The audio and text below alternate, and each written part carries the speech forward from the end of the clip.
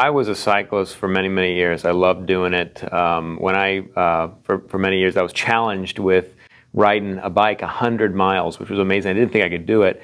Uh, I eventually figured out a way that my body could do it, and I pushed myself and was able to do it for many, many years. Um, then we opened OsteoStrong, and I, Janet was one of our members who told me that she really loves to cycle. Uh, we compared notes. You know, I had kind of not been doing as much lately, but she was explaining to me that one of her most fun things that she does every weekend is she goes and she does road cycling around Chesterfield, the Wildwood. There's great hills. Um, and but she doesn't just hang with the, the ladies, right? She's uh, she's 60, I believe she's 65 years old, 65, 66. But she rides, when she rides, she rides with the men.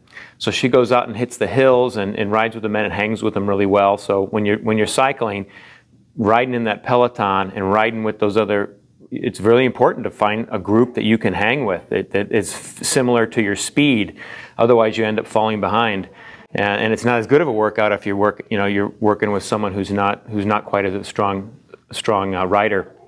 So at any rate, she was telling me she was giving me the updates every week that we'd, we'd see her and she'd come in. And one week she came in, she was extremely excited because she had just done one of her races, and uh, she had been training with the men, but she she competed against the women in in, in her age bracket and won the entire thing for the first time. She had told me she had won the entire thing and she, she attributed that to the strength that she had gotten from OsteoStrong. So we were so excited to hear her say that.